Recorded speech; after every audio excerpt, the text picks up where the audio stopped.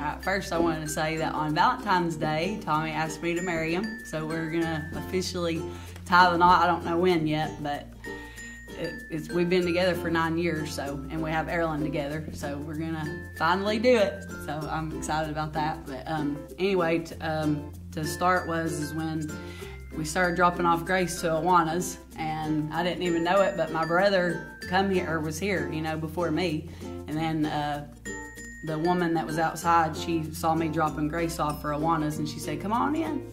So um, she got me in here, and we went through the Sunday school, or I know it wasn't Sunday school; it was the woman's group that they do at nighttime, and. Um, then ever since then we started coming every Sunday and and now Tommy's coming he's a, a part of it now and she comes to Awana's well ever since the COVID shut it down but now they're starting back up and she'll start back up soon so I'm excited about that and we love the church it's my I, I look forward to getting up every Sunday coming here it's my favorite I can't wait for Sundays now because I love this church so much. I won't go anywhere else. I'll be here for till I'm gone.